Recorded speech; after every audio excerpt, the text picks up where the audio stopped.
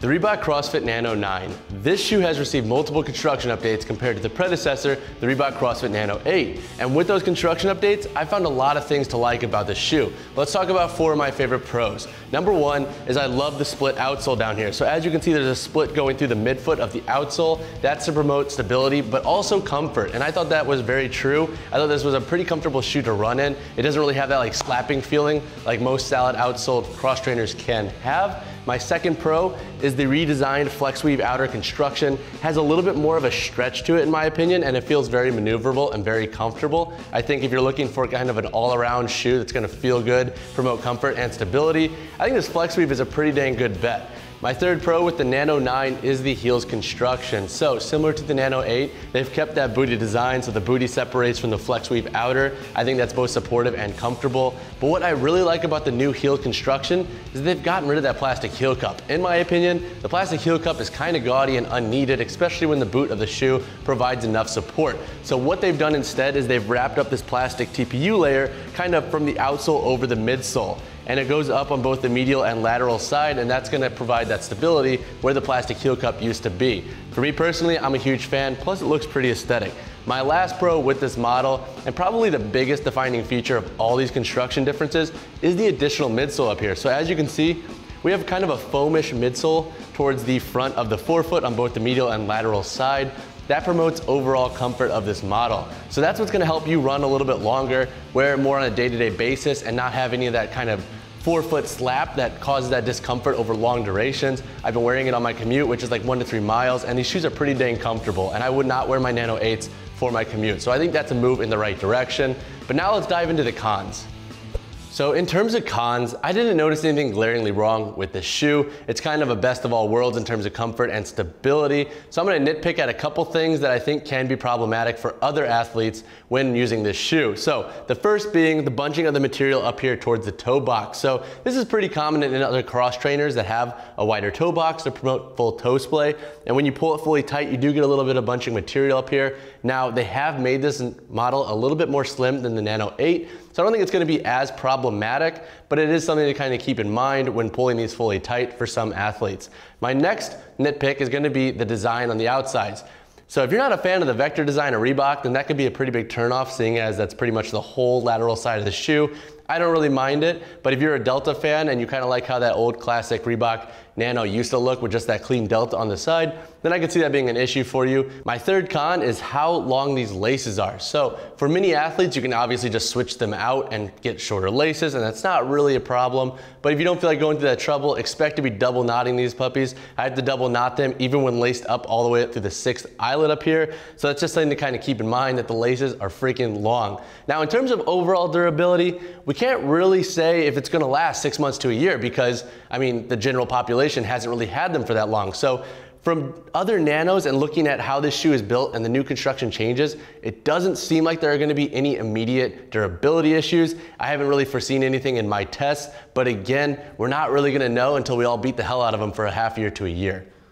So when it comes to price, you can expect to pay around $130 for a brand new pair. Now, if you're used to buying cross trainers, especially newer models with bigger companies, that falls right in line of what to kind of expect. 130 is kind of the baseline between bigger models like the Nanos that come out once a year. So again, price, it's kind of to be expected. It's gonna be right around 130. Obviously, you could find more cost efficient shoes, but if you want the latest and greatest, then you're gonna be paying 130 for the Nano 9. Performance, the question that's been on everybody's mind, how do the Nano 9s perform? So in my opinion, these are one of my favorite Nano models from the last few years. Why is that? Well, for one specific reason, and that is that they tie that bridge between comfort and stability. I like the Nano 8s, don't get me wrong, they're very stable, but when running and doing jumps, they're not the most comfortable. The wider toe box isn't really accommodating for my slimmer foot, and there's a lot of slap with that toe when doing a lot of sprints and different forms of runs.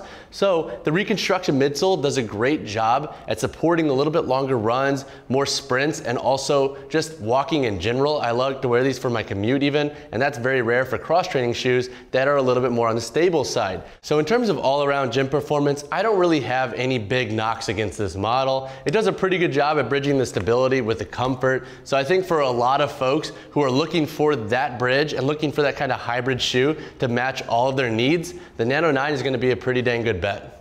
So now let's chat sizing and fit of the Reebok CrossFit Nano 9. This is a size 10 model. I'm a pretty true size 10 in all of our cross-training reviews. I wear 10s and also in Reeboks, I'm typically pretty good in the 10. So now let's see how this fits. I'm gonna slide in my foot.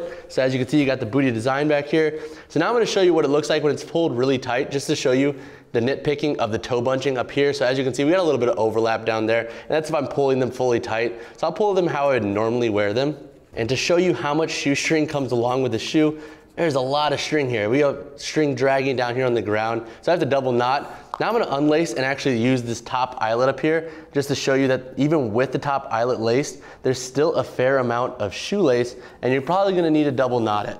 So let's lace up the sixth eyelet up here just to kind of give you an idea of how they fit. Normally I don't use a sixth eyelet just because I don't really find it useful and it's not really that comfortable and doesn't really make a difference for me personally. So fully lacing them up. Obviously a little bit less shoestring, but even then, that's a little bit baggy for my liking, especially if you're doing rope climbs or things like that. So you gotta double knot them, and that's probably gonna be your best bet at resisting any form of unlacing during a workout. So now how do these physically fit? We got about a half inch to maybe three quarters of an inch up here towards the toe and that's hitting the end of the shoe. Personally, that's like my sweet spot because I like having a little bit of room just to prevent any toe jamming and any form of jump movement or any kind of movement where I'm really pushing my toes into the ground. So that's kind of a perfect true size fit in terms of length. In terms of toe splay and the toe box up here, I'm fully splaying my toes, no limitations, no real additional room. So they have increase, uh, decrease the size of the forefoot a little bit in this model. And I find that to be really awesome because I have a narrower foot, so I love a more athletic fitting shoe. So that might be a little bit of why I like this model and how it fits a little bit more compared to previous models. But all in all, I think it's a pretty true fitting shoe. If you're true to size and your normal shoe size, then I think you should be pretty safe getting the same with the Nano 9. So now let's talk about the construction of the Reebok CrossFit Nano 9. Let's make our way from the toe to the heel and run over all the construction differences of this model. So up here towards the toe, we have a little bit of a leather layer underneath the flex weave on the toe. That's pretty great for resisting any form of durability or abrasions that you might get with toe dragging and things like burpees. Up here on the toe itself, we have an outsole layer that wraps up and it's a little bit wider. We don't really have that narrow lip up here, which is pretty great for resisting any form of durability issues of lipping. I think that's a great feature, especially since there is a break here in the midsole. I think that's really useful to have on the shoe. So making our way to the midsole, we have a more of a compressible foam midsole here. That's newer to this Nano compared to other models. Gives a little bit more reactivity up here on the toe. We obviously have that newly reconstructed, kind of updated flex weave outer construction. And as you can see, there's a little bit more of a stretch to it.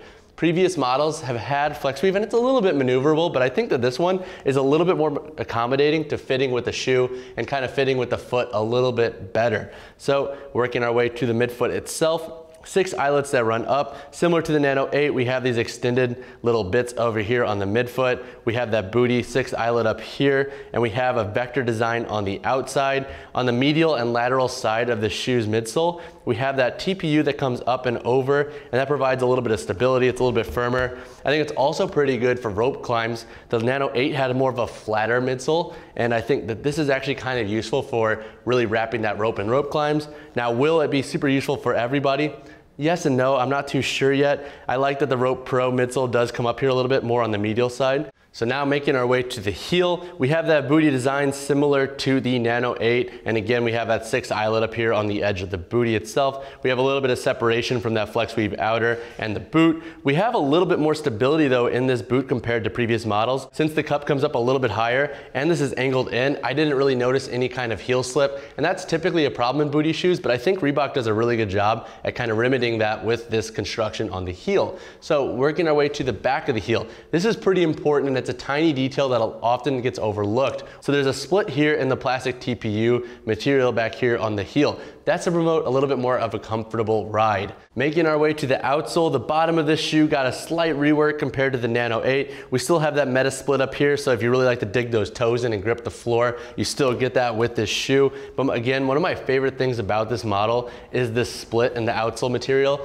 That's meant to provide a separation between the toe and the heel. So when you have a flatter shoe that has that kind of that whole flat outsole, you kind of get a little bit of slap and it's not the most comfortable to run in.